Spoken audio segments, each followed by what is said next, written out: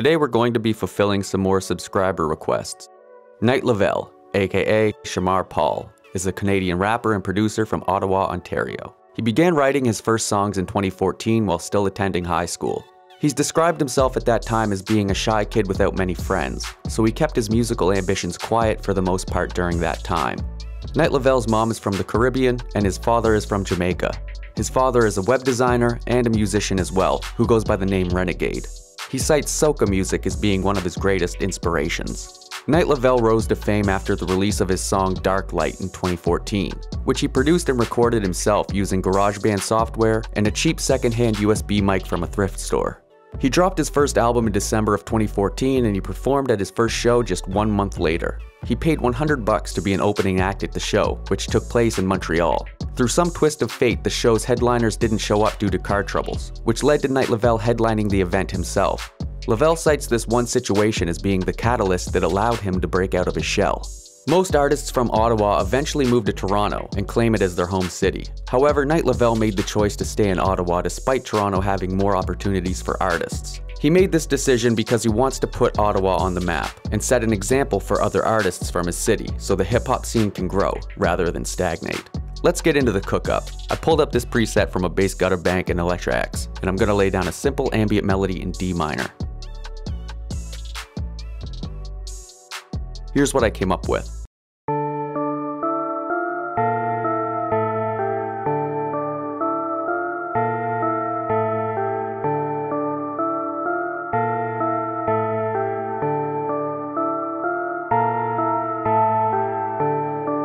Added some EQ and reverb, and I layered the melody with this preset in Pigments. Here's what it sounds like now.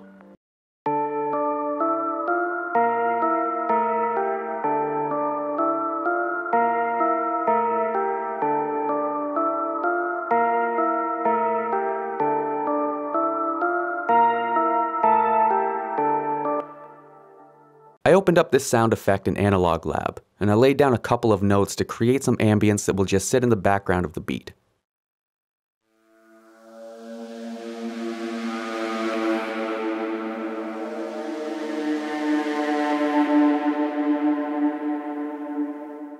I opened up this preset in Omnisphere, and I layered the main melody once more.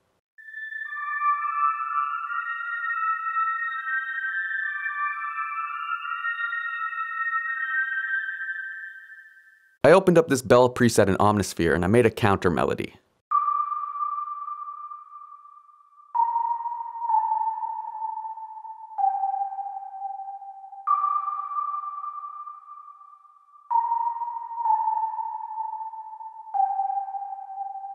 I opened up this sub bass and I laid down one note.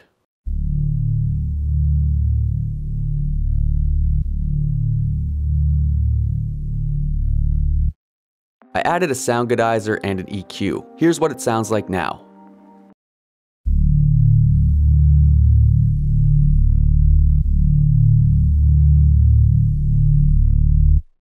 I added a snare.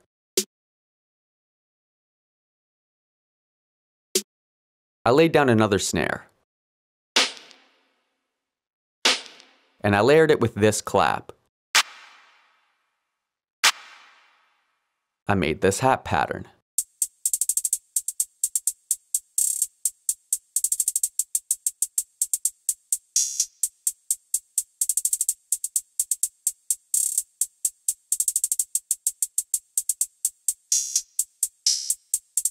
I added a rim. I laid down a crash. I made this kick pattern.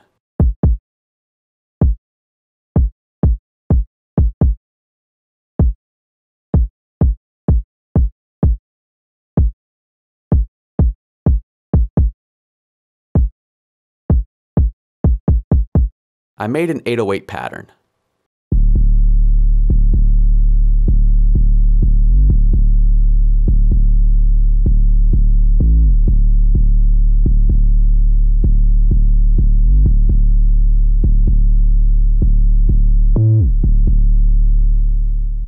Chopped up a bunch of audio clips of sound effects just to create a section of the beat that's pretty much just ambient noises. Here's what it sounds like.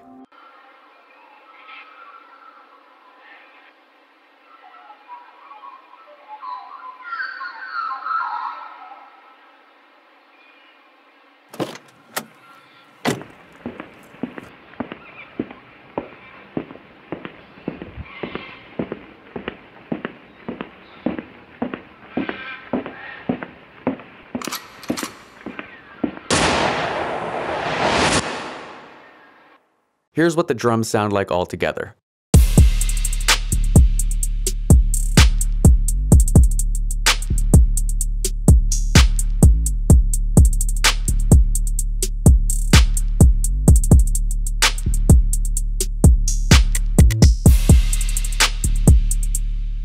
And for vocal mixing, it's essentially the same as always with two main differences. The first difference is that I will have three vocal takes of the verse, panning one to the left and the other to the right. Next, on my vocal dubs and ad-libs, I'm going to put a 1 16th delay and turn down the dry knob. Then I'm going to add a bit of reverb. Now it's time to write some lyrics. Night Lovell lyrics tend to be pretty simple. Make sure to use his trademark sweet ad-lib, mention Novocaine, and mention that people call him Devil Baby James. And just a disclaimer, I'm not attempting to do an outright impression of Night Lovell, I'm just creating a rough approximation of his style. The track will probably sound closer to a Bones type verse just because my natural voice is likely closer to Bones than Night Lovell's. It's very possible that the final track could be extremely cringe inducing. This has been your first and final warning.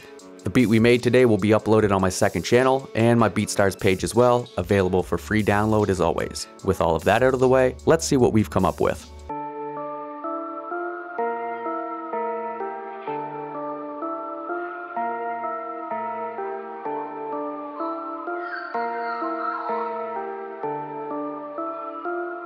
Beat, so we mixing them perfect.